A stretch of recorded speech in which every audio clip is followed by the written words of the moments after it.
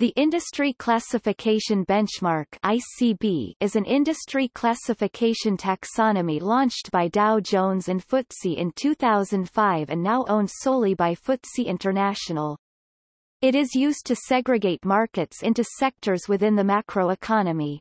The ICB uses a system of 10 industries, partitioned into 19 supersectors, which are further divided into 41 sectors, which then contain 114 subsectors. The ICB is used globally though not universally to divide the market into increasingly specific categories, allowing investors to compare industry trends between well-defined subsectors.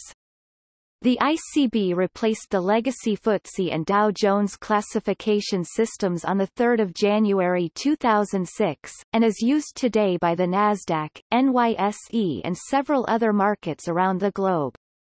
All ICB sectors are represented on the New York Stock Exchange except equity investment instruments 8980 and non-equity investment instruments 8990. Dow Jones divested itself of its 50% interest in the ICB in 2011 and announced it was creating its own version of it.